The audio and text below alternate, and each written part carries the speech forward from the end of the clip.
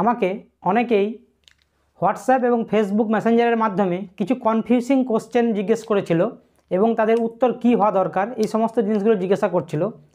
তাই সেই সমস্ত কোশ্চেনগুলো আমি এক জায়গা করে তাদের উত্তর কী এবং সেই কনফিউশনটা কীভাবে দূর করা যায়, সেই জন্যই আজকের আমরা একটা ভিডিওর মাধ্যমে এগুলো সকলকে জানানোর চেষ্টা করছি। ভিডিও শুরু করার আগে একটা কথা, যারা এখনও পর্যন্ত আমাদের চ্যানেলটাকে সাবস্ক্রাইব করো নাই, তারা চ্যানেলটাকে সাবস্ক্রাইব করে বেল আইকনটাকে অন করে রাখো। যাতে করে আমরা কোনো ভিডিও দিলেই তার নোটিফিকেশান তোমাদের কাছে চলে যায়।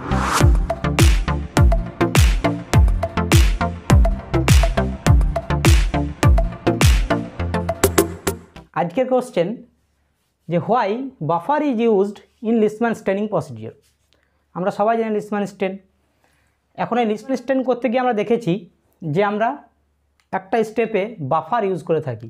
কী করে? একটা বাফার সলিউশন ইউজ করে থাকি। এই বাফারটা কেন ইউজ করি? অনেকে ভেবে থাকে এটা, যে বাফারটা আমাদের পিএইচ মেনটেন করে। সেজন্য বাফারটা ইউজ করি। কারণ আমরা এমনিতে নর্মালি জানি যে বাফারের কাজ হচ্ছে পিএইচ মেনটেন করা। কিন্তু এখানে কোশ্চেন হচ্ছে কার পিএইচ মেনটেন করবে? এখানে তো পিএইচ চেঞ্জ হওয়ার কোনো গল্পই নেই। তাহলে পিএইচটা চেঞ্জ মেনটেনটা কার করবে? যে বাফার ইউজ করব? আসলে এখানে কোনো পিএইচ মেনটেন করার জন্য বাফার ইউজ করা হয় না। বাফার ইউজ করা হয় as a modern as a modern এই কথাটা কোথায় পেয়েছিলাম?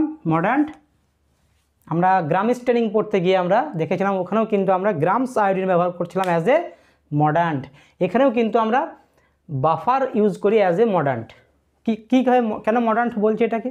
কি কাজ করে? নর্মালি যে লিসম্যান পাউডারের মধ্যে কি থাকে?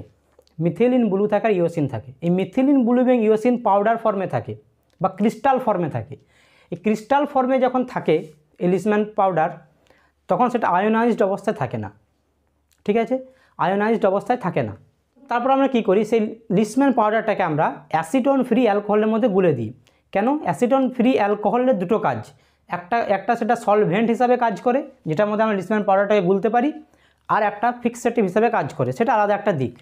এখন হচ্ছে হচ্ছে কি? বাফারটা কেন তাহলে ইউজ করছি? বাফারটা ইউজ করা হয় to ionise buffer is use to ionised the Leishman powder Leishman powder Leishman পাউডারের মধ্যে কী থাকে বললাম? হিওসিন আর মিথিলিন ব্লু তাহলে এখন কোশ্চেন হচ্ছে আয়োনাইজ করার দরকারটা কী? আয়োনাইজড করার দরকারটা এই কারণেই যে আয়ন যদি এটা নন আয়োনাইজড ফর্মে থাকে, তাহলে সেটা কিন্তু সেলের মধ্যে ভালোভাবে পেনিট্রেট করতে পারে না।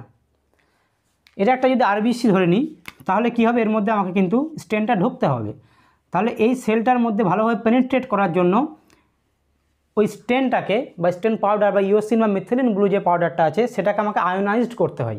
ঠিক আছে? আয়োনাইজড হওয়ার ফলে এটা কিন্তু ভালোভাবে সেলের মধ্যে পেনিট্রেট করতে পারে। সেজন্য এটাকে বলা হয় অ্যাক্ট অ্যাজ এ মডার্ন বোঝা গেল কি বলতে চাইলাম?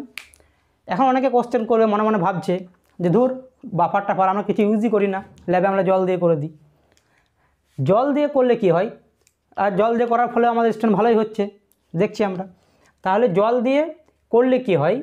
যে লিসম্যান স্টেন যে পাউডারটা ছিল বেথিলিন ব্লু সেটা কিন্তু পার্সিয়ালি আয়োনাইজড হয়ে যায়। জলের মধ্যেও কিন্তু পার্সিয়ালি আয়োনাইজড হয়। একদম যে আয়োনাইজড হয় না তা না, জলের মধ্যেও পার্সিয়ালি আয়োনাইজড হয়।